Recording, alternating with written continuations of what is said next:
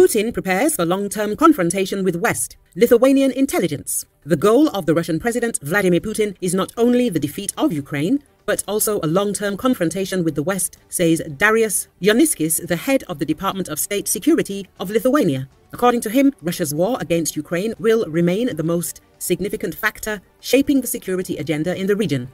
Jauniskis adds that it is unlikely that Russian aggression, its goals and strategies will change this year. The situation will probably remain the same as last year.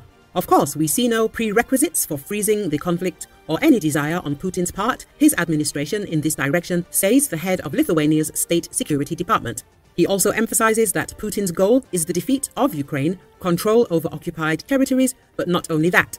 According to the head of the State Security Department, Russia is preparing for a long-term confrontation with the West and it has a wide range of tools at its disposal. Jauniskis does not exclude that the Kremlin will use these tools to reduce assistance to Ukraine, employ informational and cyber operations, nuclear blackmail, and incidents on the territories of NATO countries are not excluded. Of course, illegal migration near the eastern borders of NATO remain a potential lever of pressure that both Russia and Belarus can use, comments the head of the intelligence agency.